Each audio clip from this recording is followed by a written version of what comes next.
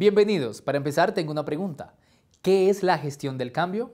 Existe una necesidad de transparencia en la gestión pública y de participación de los ciudadanos en la elaboración de políticas estatales, de rendición de cuentas y de responsabilización por el uso de los recursos públicos dentro de un gobierno democrático.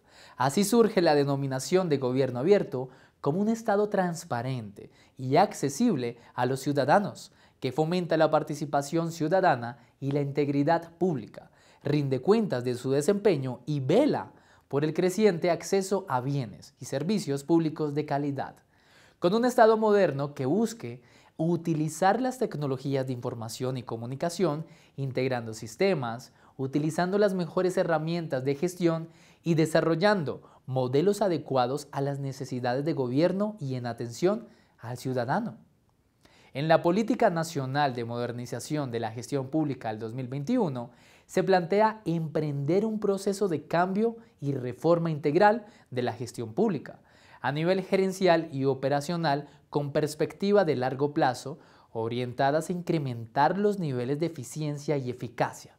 Para lograr una gestión pública de cambio y moderna orientada a resultados, las entidades deben, primero, desarrollar canales para lograr mayor transparencia, accesibilidad y participación de todos los ciudadanos y rendición de cuentas por el Estado.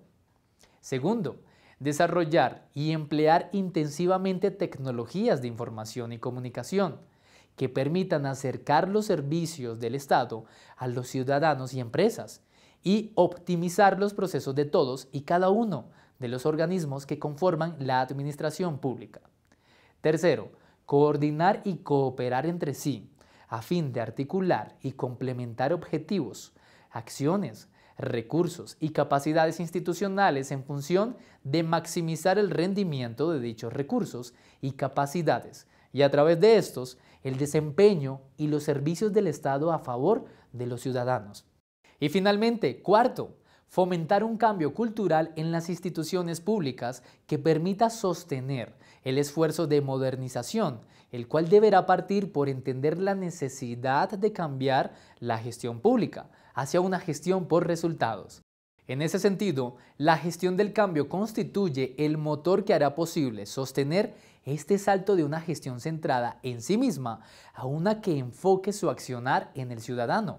Es importante señalar que la gestión del cambio es un proceso de mejora que, si lo aplicamos en las IST, los equipos directivos son los encargados de liderar estos procesos.